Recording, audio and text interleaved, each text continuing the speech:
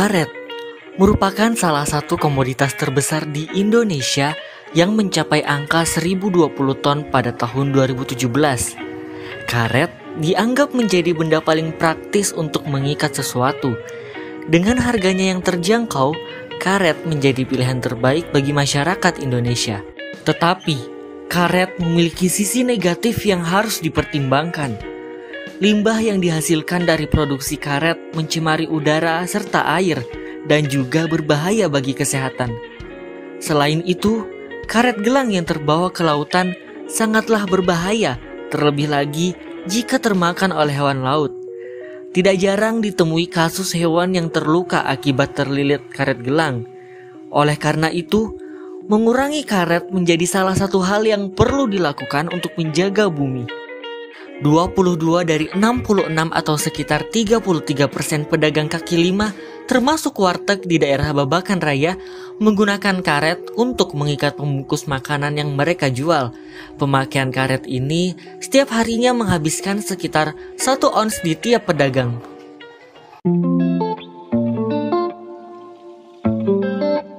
Nama gue Octavia Putri, biasa dipanggil Via. Halo, aku Dira. Uh, nama aku Reza.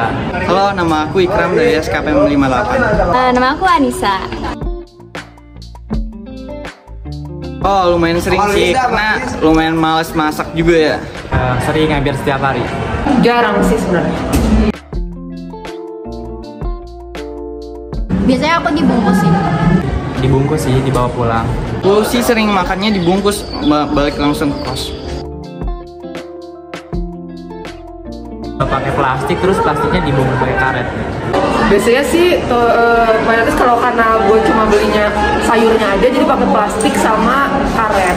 Biasanya tuh pakai kertas nasi dan ada karetnya. Kalau aku pribadi sih aku ada tempat terus gantung karetnya ya, untuk uh, itu kegunaan lain.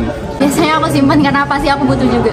Dibuang sih uh, kalau di kosan juga juga jarang simpen gitu jarang buat apa gitu. Uh, menurut aku, aku nggak terlalu tahu ya, tapi biasanya kan dari pohon karet itu nggak tahu juga sih aku. Oh menurut aku sih ada ya karena setiap kita melakukan transaksi menggunakan karet otomatis kita tuh jarang menggunakan karet ya rata-rata kita langsung buang dan pencemaran pun bisa terjadi menurut aku ya. Uh, mungkin ada ya kalau misalkan karetnya itu udah jadi limbah itu mungkin bakalan cemarin ke lingkungannya gitu. Pasti ada ya karena karet itu kan uh, juga dia berasal dari tumbuhan karet juga. Jadi kayaknya itu bakalan wasting banget sih kalau misalkan kita bakalan terus-terusan pakai karet. Uh, gimana ya? Dampaknya apa sih? Tidak dapat dibayangkan berapa banyak sampah karet yang akan menumpuk di bumi ini. Apalagi saat ini produksi karet lebih banyak menggunakan bahan sintetis. Karet sintetis memakan waktu yang sangat lama untuk bisa terurai, sehingga perlu adanya tindakan untuk mengurangi penggunaan karet gelang. Kami memperkenalkan gerakan Rana Kalang, kurangi penggunaan karet gelang. Gerakan ini bermaksud untuk membiasakan diri membawa tempat makan saat membeli makanan. Dengan begini, penggunaan karet gelang akan berkurang dan bumi kita akan semakin jauh dari kata kerusakan. Mari kita jaga diri sendiri, makhluk hidup lain, dan bumi kita.